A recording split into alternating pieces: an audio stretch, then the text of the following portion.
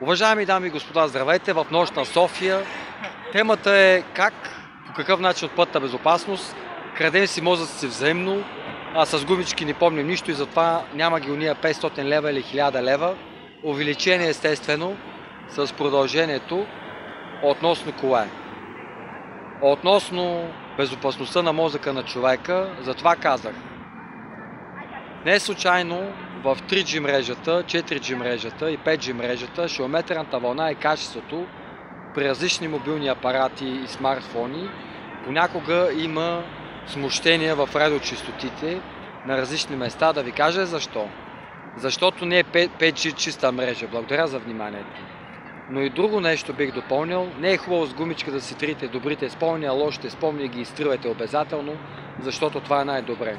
Пожелавам ви весело изкарване и приятно завършване на петъчния ден, както и добро изкарване и не само весело на уикенда.